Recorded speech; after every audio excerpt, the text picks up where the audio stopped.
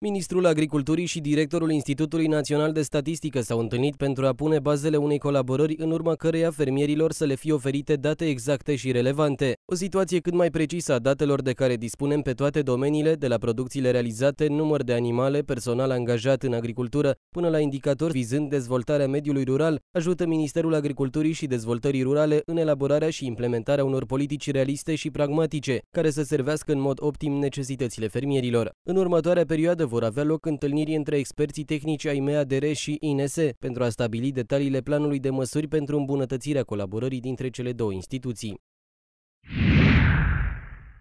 Fermierii români care au optat în 2015 pentru sprijinul cuplat pot primi 325 de euro pe hectar pentru soia și 55 de euro pe hectar pentru lucernă. Ei sunt obligați să depună la Agenția de Plăți și Intervenție pentru Agricultură actele cu care dovedesc că au făcut anul trecut producția pe hectar impusă pentru plata subvenției. Termenul limită este 31 martie 2016, scrie Agroinfo. În primul caz, fermierii trebuie să prezinte note de intrare recepție a furajelor de soia procesate pentru animalele sau păsările pe care le dețin în fermă. În cel de-al doilea este nevoie de factura de achiziție a instalației de procesare sau contractul de închiriere sau de leasing al instalației de procesare sau contractul de prestări servicii pentru producerea de furaje. Dacă fermierul nu mai deține factura de achiziționare a instalației de procesare, trebuie să prezinte extras din documentele contabile din ultimul an, prin care dovedește că instalația este înregistrată ca mijloc fix. Pentru cei 55 de euro pe hectar la cultura de lucernă, fermierii trebuie să facă dovada că au realizat anual o producție minimă de 15 tone pe hectar, masă verde sau 3,75 de tone la hectar de fân.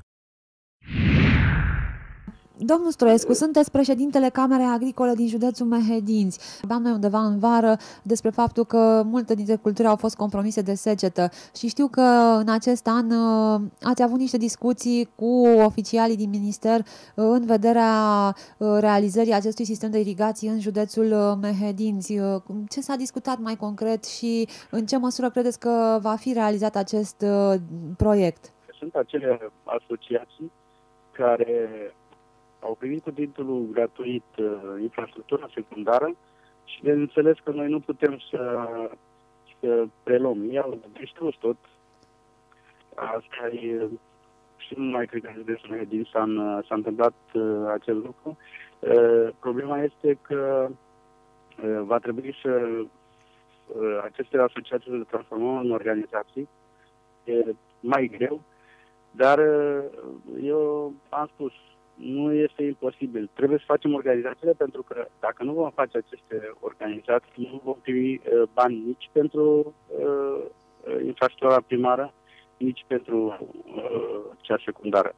Uh, am avut discuții la, la prefectura din județul Mehedinți cu un prefect. Uh, o să mai avem uh, domnul primar care de la comunele unde a fost amenajat uh, sistemul de irigații uh, și va trebui să, să, să ajungem la un numitor comun, să, adică să înființăm aceste organizații, pentru că ne trebuie neapărat. Și anul trecut am avut secetă, noi am avut zone de 100% și iată că fermierii unde au ajuns cu datorii, au venit furnizorii de inputuri și s-a întâmplat ce s-a întâmplat. Despăgubirile au fost prea puține. Repet, uh, ce aș vrea să mai adaug, fondul mutual este iară un, uh, după Camera Agricolă, iară uh, vital pentru, pentru agricultura din România. Și pentru credeți că, că va acest, fi acest, înființat? Credeți că se va realiza și acest... Va trebui să ne înființăm că vor sau că nu vor românii sau alții. Va trebui să ne înființăm pentru că acest organism asigură și seceta și înghețul de iarnă. Știm foarte bine că uh, aceste companii de, de asigurări nu uh, asigură seceta sau înghețul de iarnă. Uh, cei mai periculos pentru fermier, pentru că uh, depindem de, na- de, de natură. Uh, acest fond mutual va, va asigura și seceta și va despăgubi uh, cel puțin uh, cheltuielile care pentru înființarea culturilor. 1200 de fermieri români au primit o subvenție unică în Europa, fără să lucreze pământul. S-a întâmplat în ultimii patru ani, iar în total s-au încasat 3,4 milioane de euro. Specia care a obținut cei mai mulți bani de la Uniunea Europeană este fluturele albastru. Sunt patru fluturi albaștri care apar izolat în Europa. Există două locuri în România, Bucovina și Cluj, unde sunt toți patru. Sunt unicele locuri din Europa unde apar toți patru. Ca să salvăm această unicitate a acestor fluturi, cu mai mulți ani în urmă am mers la Ministerul Agriculturii și am depus o cerere. Am dovedit ce importante sunt aceste specii de fluturi albaștri și avem astăzi o subvenție care favorizează fermierii, țăranii care aplică metodele pe care le spunem noi. Pe scurt, fermierii trebuie să cosească după data de 25 august. Cei care știu ce înseamnă cositul pentru fân întreabă imediat. Ce să mai fac eu cu fânul ăla? Tocmai că nu prea ai ce face cu fânul, primește o compensație, iar compensația acoperă de două ori fânul pe care l-ai face dacă ai cosi la începutul lui iulie, a explicat profesorul Laslo Racoții de la Universitatea Babeș-Bolyai din Cluj-Napoca. Fermierii români beneficiază și în 2016 de compensații pentru fluturele albastru. Acestea fac parte din plățile pe agromediu măsura 10 PNDR 2014-2020. În această perioadă se va produce o încălzire treptată a vremii în majoritatea regiunilor agricole. Temperatura medie diurnă a aerului va fi cuprinsă între 7 și 14 grade Celsius, valori mai ridicate cu 1-5 grade în raport cu mediile multianuale, pe aproape întreg teritoriul agricol al țării.